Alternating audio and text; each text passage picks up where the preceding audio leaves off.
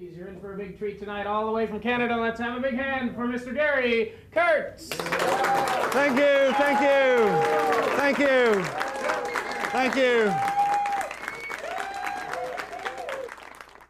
A pack of cards,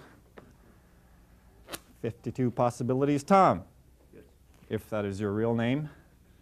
Tom, 52 cards in the deck. Would you believe that I could make you think of any one of these cards in this deck that you wanted, I wanted you to think of? Yes or no? Thanks for your confidence in me, Tom. At the risk of surpassing your expectations, I will go on. I'll even give you a chance to change your mind, and I'll still make you think of the card you want to. How does that sound? Impressive. Play ball. I'm going to spread you the cards. Think of any one of the cards you see there. Just think of one. Which one's it going to be? Uh, oh, name it. Yes. Six of hearts. Six of hearts. Do you want to change your mind? Uh, no. Please? No, no, no, no. You, you want the six of hearts? Yes. Perfectly free choice. Oh, did not. Don't count on it. Something I failed to tell you. Inside this pack, there is a marked card. A marked card.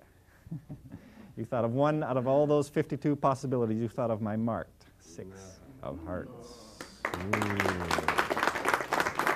Yeah. But not only did I put a marked card in the deck, I, I, earlier I removed the blue card from the deck, placed it in my pocket. That was also the six of hearts. That's how sure I was you were going to think of it. Hmm. But for the moment, I'll leave the six of hearts under the card box, the blue one inside the box, because I know you may be wondering, Tom, what would happen had you thought of a different card, right? Uh, yes. So am I. Fact of the matter is, you didn't, and for that, I thank you.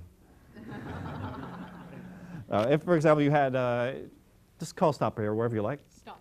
Got it? Uh-huh. Uh, if instead of the six of hearts, you, you thought of a different card, for example, the one that she's thinking of right now, I'd probably have to resort to magic to save my reputation. If you would come forward just for a bit, place your finger on top of the marked card on the X. On the count of three, I want you to name the card you were thinking of. One, two, three.